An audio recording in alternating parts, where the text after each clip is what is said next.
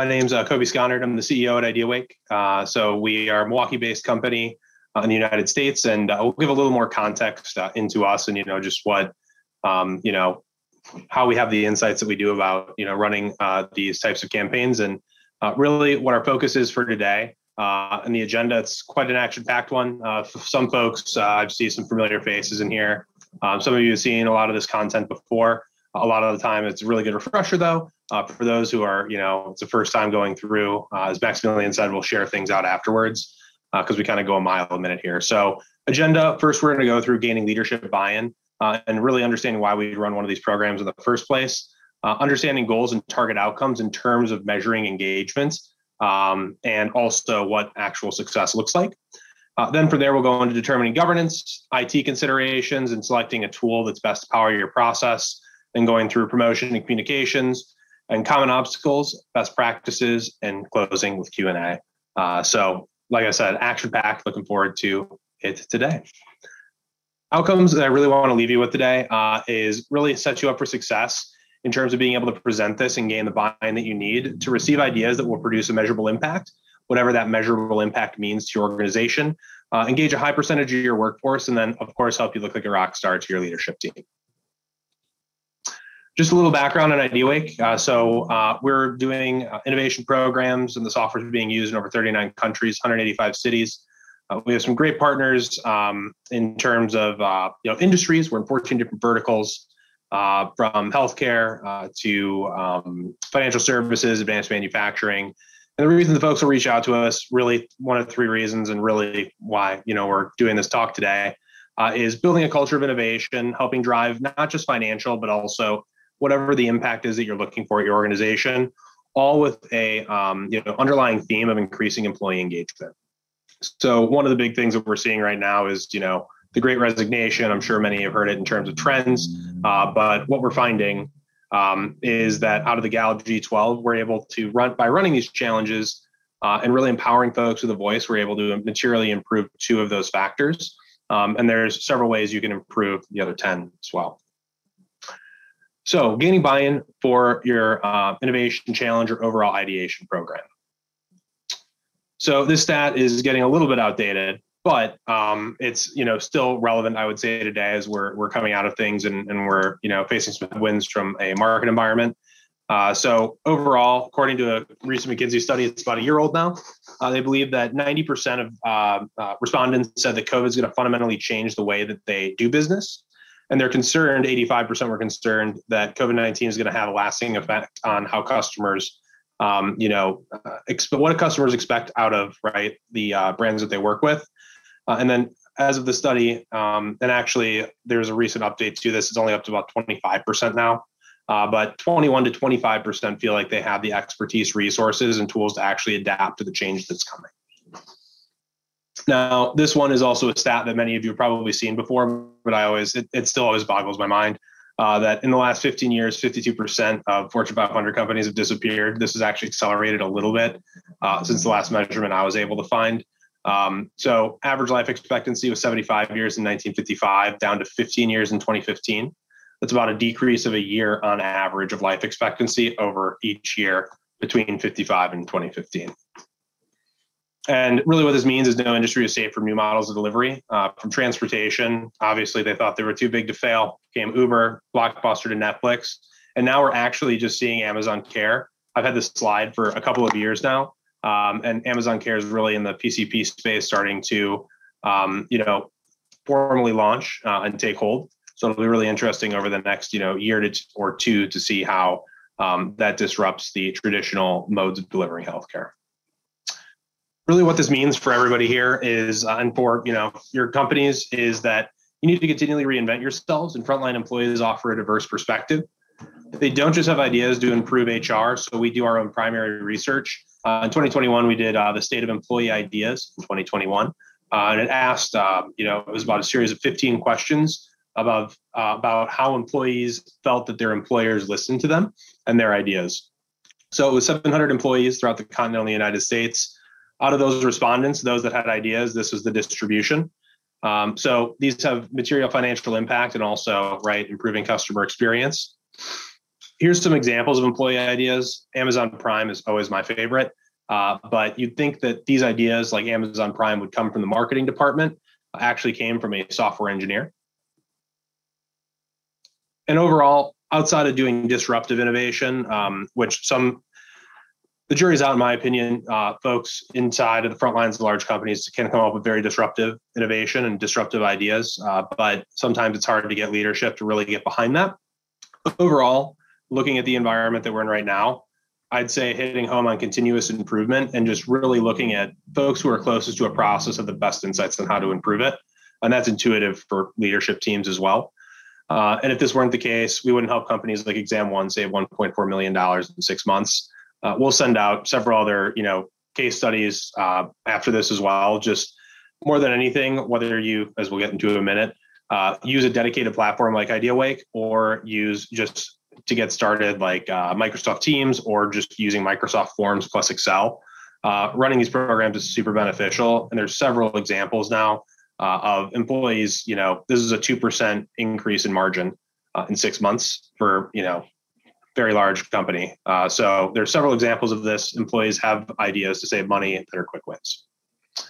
The last piece here, going into that great resignation um, and going into uh, you know the trend today of it being hard to attract and retain talent.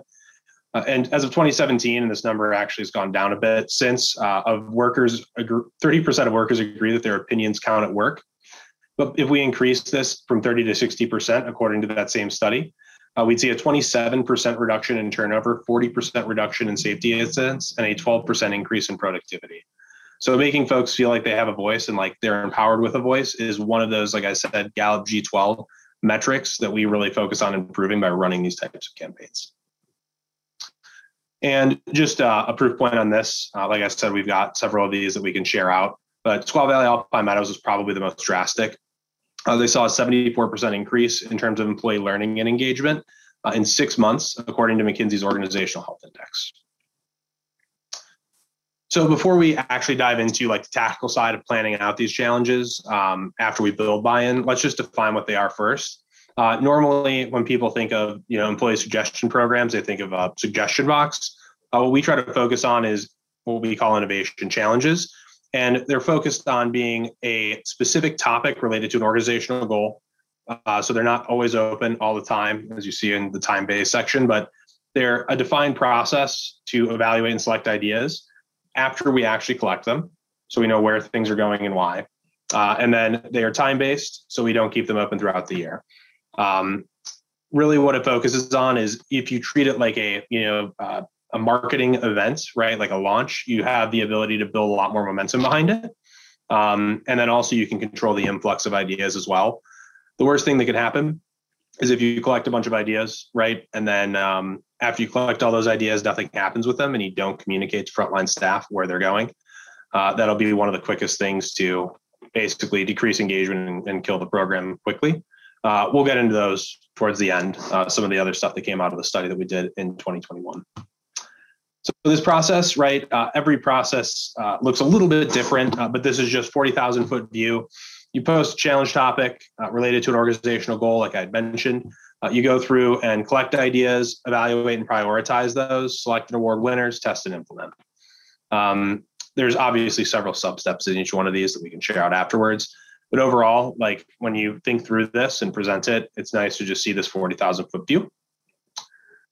Now let's go into understanding our goals and desired outcomes. And I'd say one of the biggest uh, mistakes that we see is when folks come to us, um, they try to run before they can walk. And a lot of the time, it's just the expectations from senior leadership. They want to start a program in order to go towards this transformational that we see right here. This is what they're imagining when they imagine innovation. Uh, the problem is that you're expected as a team of one a lot of the time to be able to deliver um, on you know something when you only have a budget to actually deliver on transformational when you have an incremental budget. Uh, we see this literally every day, uh, and we actually made this uh, chart um, as a result of it. So, really, when leadership comes in and they want to get this program going, uh, they're trying to build out really complex solutions. And once again, you're an innovation team of one over here. So the resourcing and the capacity that you have as an organization to actually implement, develop and implement innovation itself. It's like a muscle. Um, expectations are set here when you're not being set up for success because the resourcing that you're getting and the experience of the organization is really sitting here. So what we like to um, really focus on is setting the right expectations with senior leadership teams up front. It's not the easiest thing to do. It's easy to look at it in this graph, but it's it's really just having those conversations so that everybody understands what deliverables are going to be, especially in like year one. Uh, you can think of these as like one year cycles. They could be six month cycles if you get, want to get really crazy with it. Uh, but overall, we're really focused on in the beginning for a bottom up innovation program is engaging a high percentage of our workforce and getting some type of projected value um, out of the system. So, out of two to three innovation challenges that you'd run, uh, you go through and you're able to hopefully test about 15 idea, 10 to 15 submissions and pilot four to six of them. Really, overall, what you're looking for though is hey, this is the projected value over time that we expect. When you go into the run phase, one more thing. When we look down here and who, who's overseeing the work, I'm sure many of the folks in here, right? You're starting off as an innovation, an army of one. Uh, but what happens over time is if you can build this uh, buy-in from leadership and set the expectations right, we call them enabling events. So you have a really good enabling event that happens. You get a really high engagement rate for the first challenge that you run you're able to get you know a lot of projected value out of that in terms of dollar savings as an example. That gives an enabling event that allows you to add at least maybe a couple more part-time resources to your team or even you know another one or two full-time. Um, and it allows you to start to go left to right here um, on this table. So once again this will be shared out afterwards. I know there's a ton of text in here. Um, but this is one of the you know favorite slides of a lot of our customers uh, and folks that we interact with. So going into how to actually create uh, effective challenge statements, and this can also be used for setting those program expectations up front in terms of like projected value. Uh, what we do first is we list our short and long-term objectives, and we have two examples that you see right below here, one related to manufacturing, one related to the healthcare space. Uh, you set uh, specifics on scope and or time frame. And then you combine both of those things together to create challenge statements. So if your goal is to reduce manufacturing line scrap, you set a specific metric of 5% in 2019. Then you combine those two things into challenge statements. Going into governance uh, process and the collection strategy itself. So looking at the workflow and evaluation criteria, we really suggest, and this was on that previous slide that I had shared, uh, to make sure to um, uh, focus on things that are quick wins. The more that you can focus on those quick wins up front that are low complexity, low cost to implement, and fast to implement. Uh, if you're able to do that and focus your evaluation criteria on that, um, then you're going to be able to actually implement things quicker, build more buy-in for the program that unlocks more resources.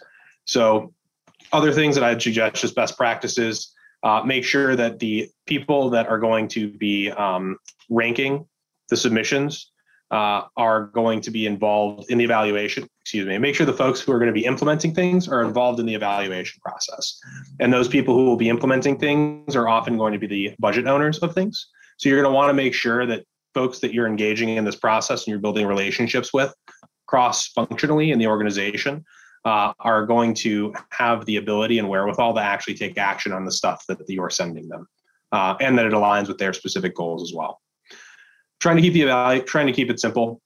We just see sometimes well, longest one I've seen is 25 evaluation criteria for an innovation challenge. Try to keep it to three, maximum of uh, I'd say five. This is 10 uh, metrics. It's just really difficult with the folks that are going to be evaluating things. They're not going to be able to take the time if you have 10 uh, to 15 evaluation criteria, and you're evaluating like 50 ideas. Um, and then we already covered the last point, which is right quick wins uh, more than anything in the beginning.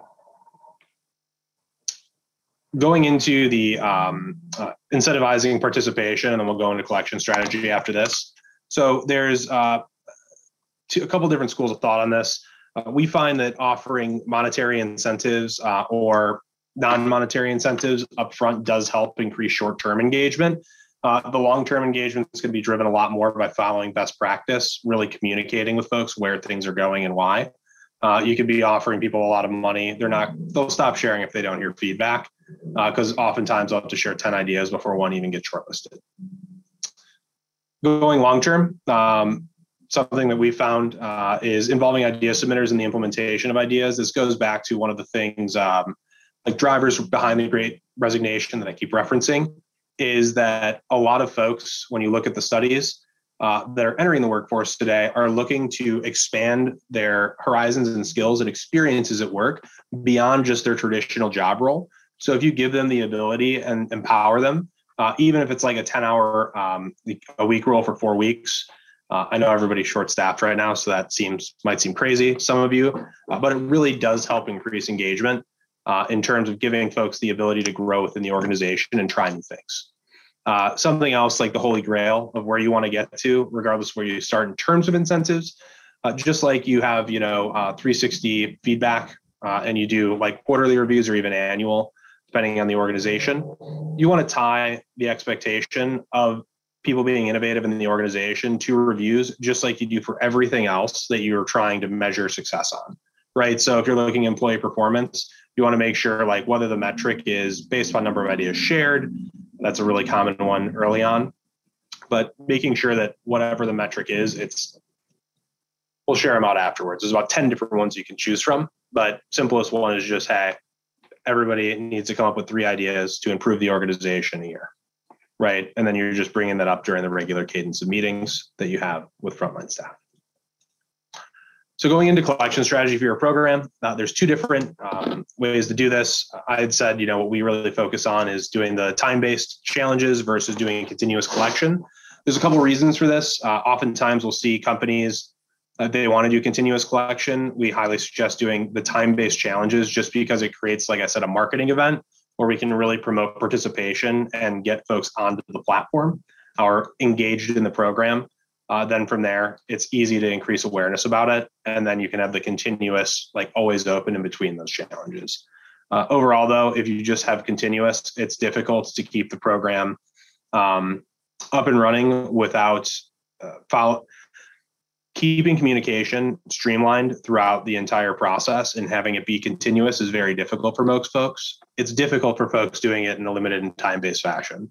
So if you have a continuous program, making sure you have a solid communication plan in place. If you don't, the program is going to really quickly in the first like six months, you'll see a drastic decrease in engagement.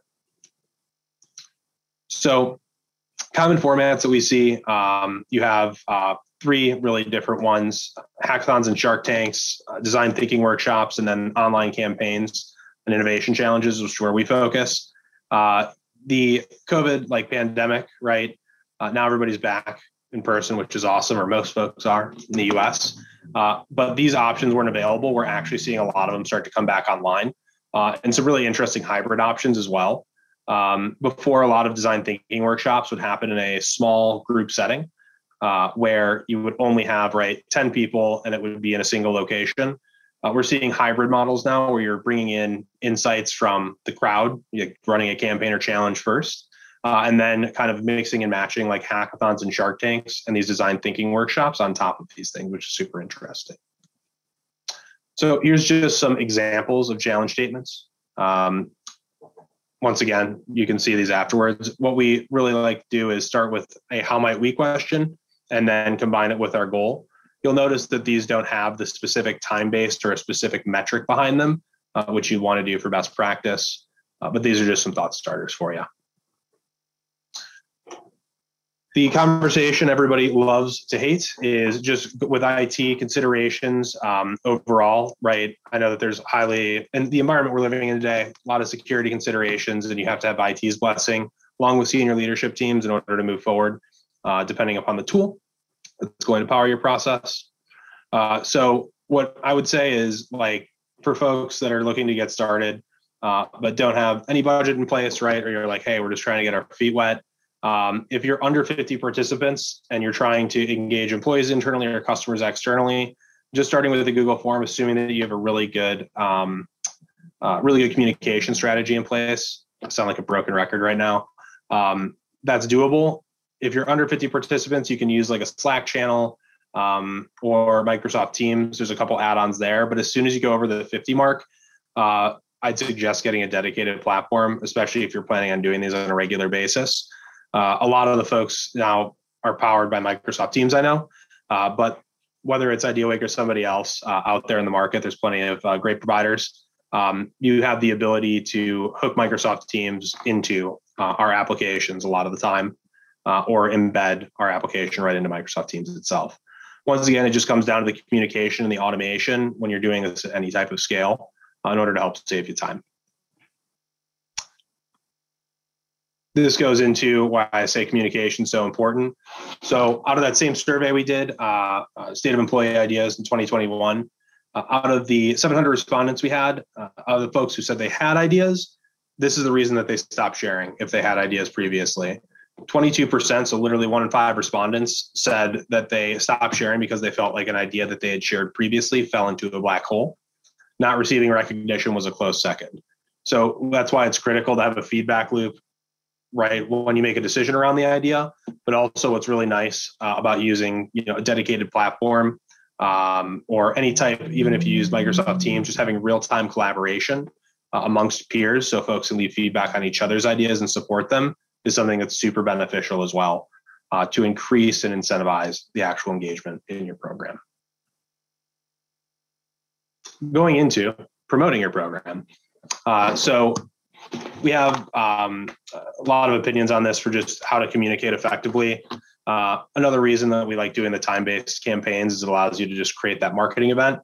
Um, but going into online promotion methods, uh, company e-newsletters, intranet, pre-launch emails, with TV slideshows on here now that folks are back in person.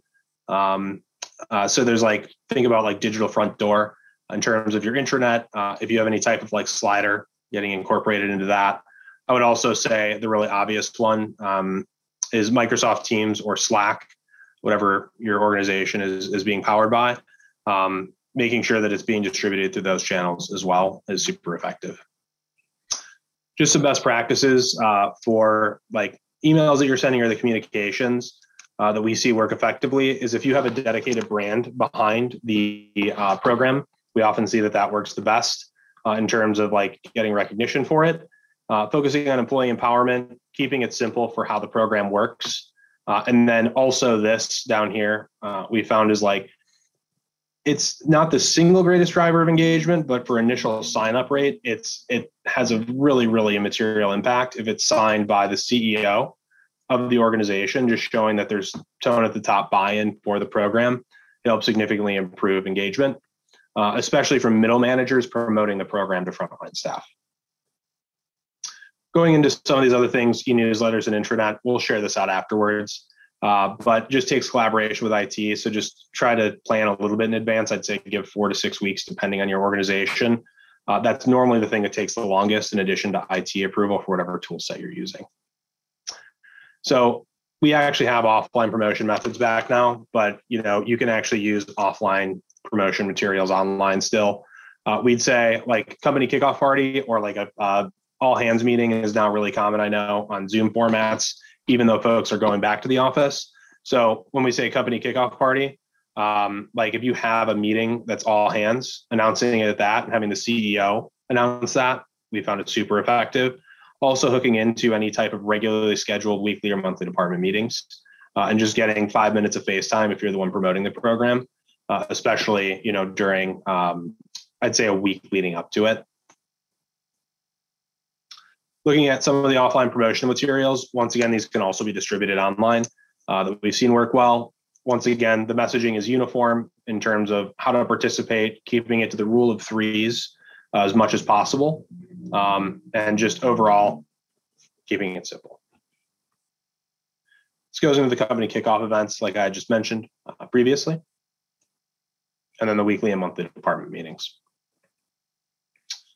the number one driver of engagement overall that we've seen, and oftentimes it's it's difficult for organizations to, um, uh, depending upon how geographically dispersed you are, build these out. But having champion networks uh, is something that is a huge driver of engagement. When we say champions, what we normally what we mean that term gets used so commonly now. I feel like uh, in the vernacular of corporations is we're looking for folks that are uh, are boots on the ground who are helping promote the program. So uh, they normally characteristics of them are going to be the folks that interact with frontline staff the most throughout the day, just in their daily working lives.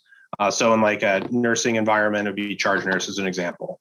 Um, versus a legal firm, it actually might be like um, office admin. So it's the person who's going to have the most influence by seeing people the most throughout a day uh, as a function of their regular working life. So depending upon how your organizational makeup looks, you can do it based upon department or based upon location.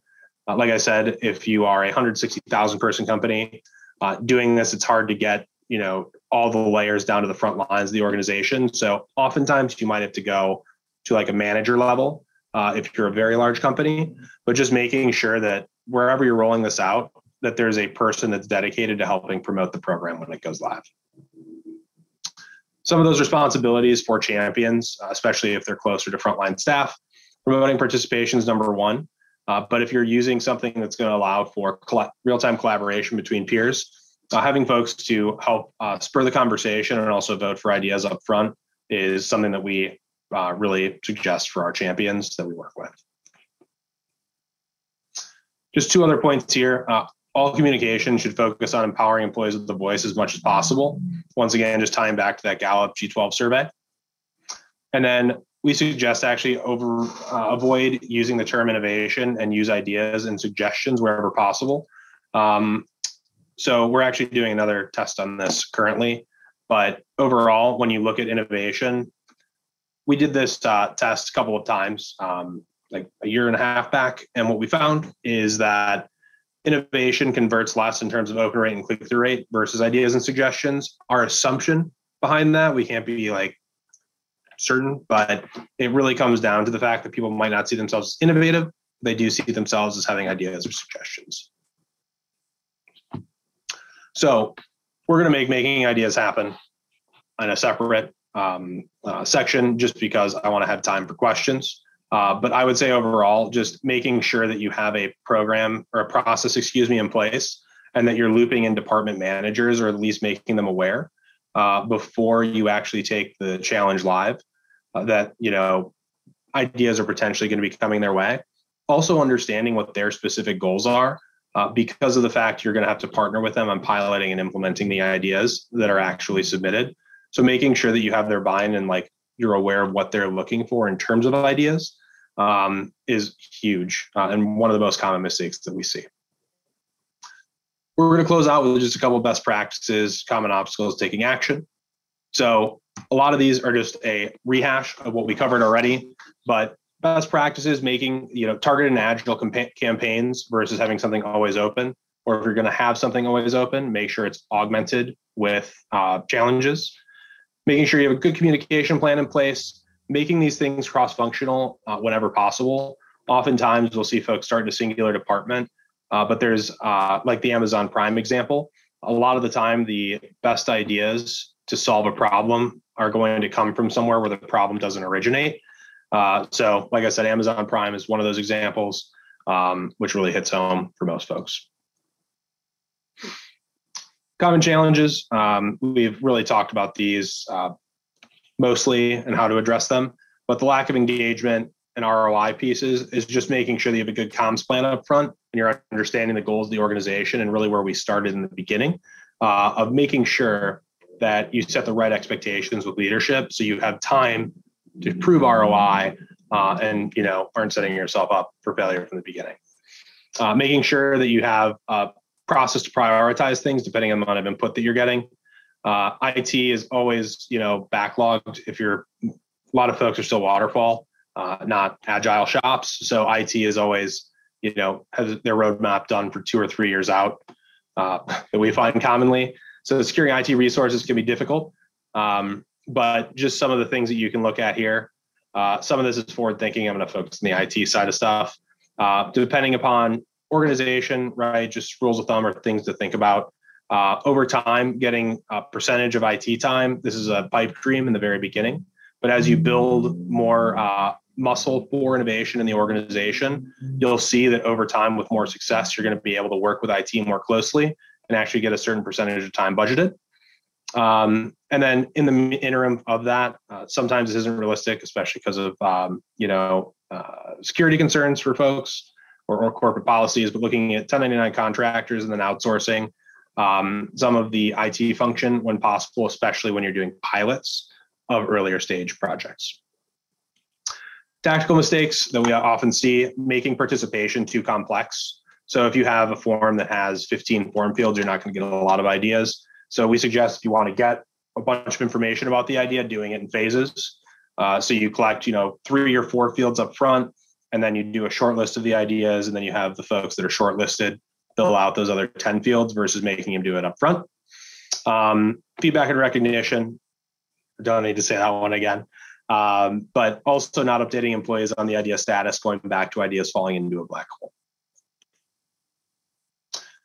Once again, showing this piece of it, these two right here, just can't stress enough. You take one thing out of today, making sure that you have uh, a program in place to make sure that within two weeks of the challenge that you run closing, getting back to the submitters with status updates until an ultimate decision is made on their idea will be the single greatest driver of your success long term with running these programs. Just remember 95% of the ideas you won't receive uh, that you do receive will not be implemented. So, what we found um, from studies that we've done not the state of employee ideas, but previous. Employees don't care nearly as much about if their idea is implemented. They care a lot more about if they hear feedback on whether their idea is moving forward. With that, uh, we have some freebies and resources that we'll share out with everybody afterwards. Um, so just really a lot of the things that we covered today, we have a full launch checklist that we'll share out with everybody that has an associated launch plan uh, that covers everything from right the challenge statements themselves all the way to making ideas happen. Uh, so with that, I am going to open up the floor for Q&A in just a moment. One other freebie we are offering for anybody who is interested uh, is just a free trial of our platform. Uh, so if you're interested in that, feel free to reach out to us afterwards. We're happy to set you up with one. Thank you, everybody. Okay, Coby, thank you very much. And uh, Q&A is open. So if anybody has questions, feel free to not only type them in the chat, but you can unmute, unmute yourself and uh, ask directly. Otherwise, I can also read them out uh, from the chat.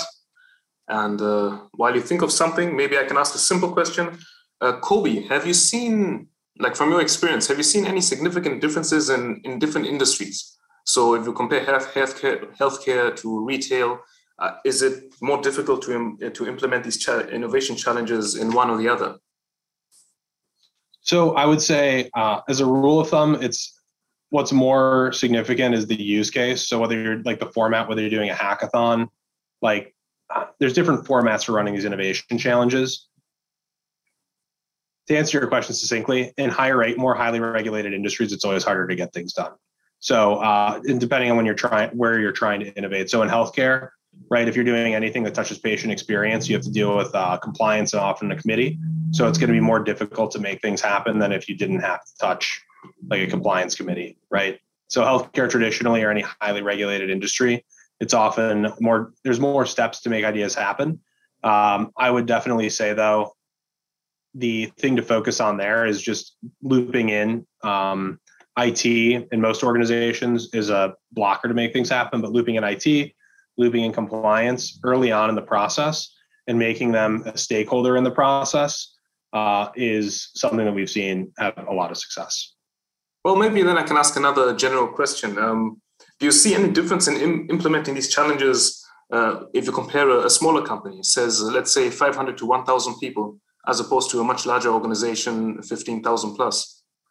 Yep. Uh, overall engagement rate, and that's like, I mean, that's like a no duh one, but um, it's much easier to get a higher activation and participation rate um, at a 500 person company than it is a 10,000 person. You'll get a higher quantity of ideas and higher overall, quote unquote, like activity, it's because you're at much larger volume of audience. Um, other piece uh, that we found going back to your question about you know uh, where industries is it difficult to get things done in specific industries? Company size also just like naturally you're going to have more layers of management uh, and more decision making nodes that you have to work through. So smaller the company oftentimes as long as you're below like a thousand is where we really see the threshold where it's a lot easier to make things happen than if you go over a thousand. Uh, there's more bureaucracy essentially that you have to work through and we have a question from uh, Carson. Do you have any suggestions on how to get senior leader buy-in when they uh, when they're hesitant? Thanks, Carson. Um, I would say um, overall, like just show anecdotal examples that folks are going to understand. Uh, depending, like I like the Amazon Prime example uh, because it's an example of cross-functional folks. Like th- that idea would have never been discovered if they didn't have a suggestion program in place, which Amazon has actually had in place since very early on in its founding. Um, other than that, though, I would just try to show, understand leadership goals, find examples of how crowdsourcing or innovation challenges have worked with other organizations and achieving those goals, uh, and then make it so that there's a really low barrier to entry, meaning running it as a one-time pilot versus something that has to be recurring. So at the end of the day, just to add on to that a little bit more, it comes down to whether uh, leader is going to move forward with something is, uh, you know, an evaluation in their mind of we have a goal. Here's the basket of things that we can do to achieve that goal is what we're considering in running this innovation challenge. Is there a case to be made that this method can be more effective uh, than other methods that we're considering? Uh, and I might be biased, but my response is always, you know, nine times out of 10, yes to that. But it's really just framing it in your mind. Hey, what else is being considered in terms of initiatives to help achieve these goals uh, that I'm proposing that we run a challenge uh, to achieve? And then making sure that you're, you know, aware of that and like making the comparison um, and including that in your presentation. Um, see a question from Luis here as well. So rewarding, especially early on, doing rewards. Um, one that we found really effective. Uh, some folks go over the top with it, but if if you have like, it doesn't have to be a very large budget at all.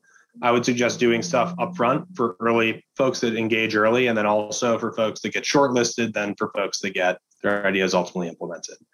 So just having it for actually each one of those phases. Something else we've seen, depending on if uh, you have um, collaboration, like folks can comment and leave feedback or suggest improvements to each other's ideas, is giving out prizes, not just for submitters, but for folks that are adding value by leaving comments or being additive, right, to the idea uh, and really engaging in that way.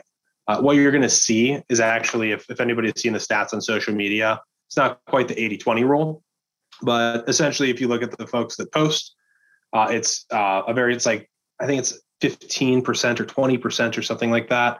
Uh, then you have another 40% that are going to consume uh, in terms of, or excuse me, engage with the primary content that's created.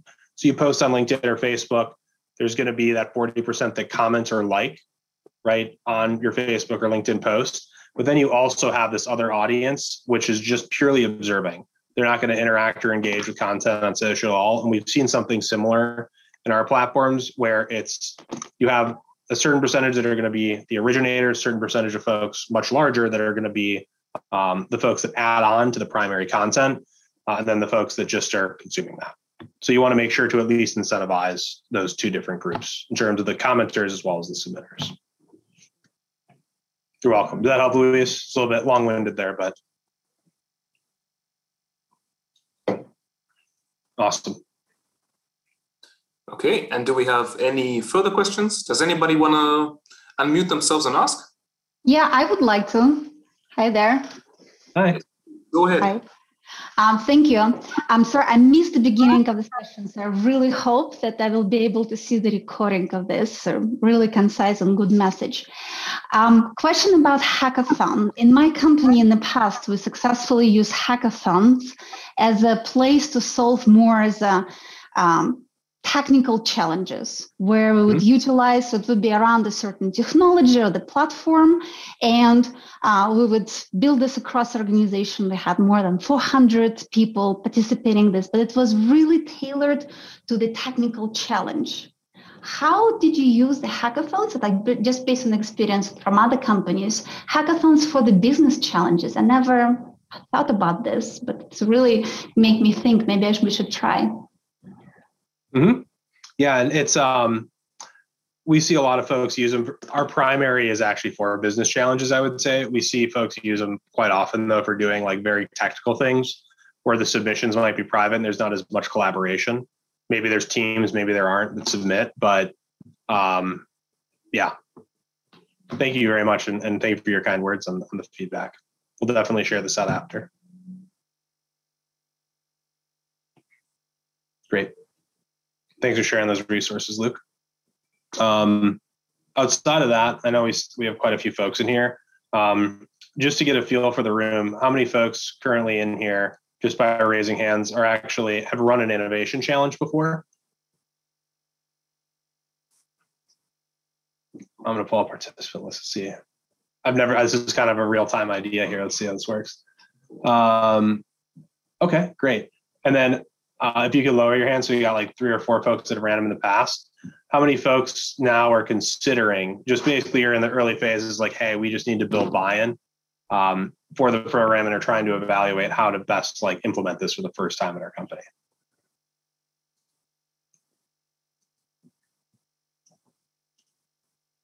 We got one, two, oh wow, okay, we got a lot. Um, three, four. Okay, so that's a nice mix of folks in here. Um, and anyways, we'll we'll make sure to share out resources afterwards to appeal to both both the groups. Um, and if anybody has you know questions for us, uh, we're here to help. So you can reach me directly at uh, Coby C O B Y uh, at ideawake.com, um, or just go to our website ideawake.com, uh, and you can you know book a time with us there. Uh, we'd love to talk with you. So additionally, I think we'll be available and accessible on the Innov8rs platform directly as well. Okay, awesome. Great. Thank you very much, Coby. Uh, excellent as always. And uh, of course, if anybody, if you have questions, you can uh, uh put it in our community discussion section. Uh, as always, we are going to post a link to the next session as well. And uh, this was good. Thank you guys very much. And I hope that you all still have a, a wonderful day. Thanks, everybody.